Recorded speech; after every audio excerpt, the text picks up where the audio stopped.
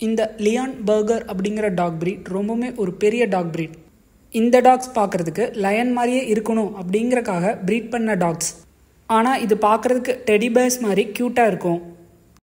இந்த Leon burger talk பிரீடை ஜெர்மனியில் தான் ஃபர்ஸ்ட் கண்டுபிடிச்சாங்க.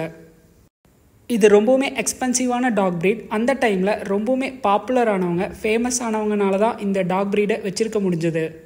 இந்த ப்ரீடில் இருக்க most of the dogs world war one அப்போவே அழிஞ்சு போச்சு. சில டாக்ஸை சேவ் பண்ணி அந்த ப்ரீடை காப்பாற்றி கொண்டு வந்தாங்க.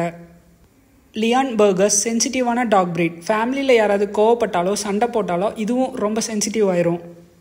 கம்பேனியன் டாக்ஸாக இருக்கிறக்காகவே ப்ரீட் பண்ண டாக் இது. அதனால ஓனர்ஸ் கூட ஃபேமிலி மெம்பர்ஸ் கூட இருக்கிறதுக்கு தான் இதுக்கு ரொம்ப பிடிக்கும். ரொம்ப நேரம் தனியாக இருக்கிறதுனா இந்த டாக்ஸ்க்கு சுத்தமாக பிடிக்காது. இதனுடைய லைஃப் ஸ்பேன் பார்த்தீங்கன்னா எயிட் டு நைன் இயர்ஸ் வரைக்கும் உயிர் வாழும்.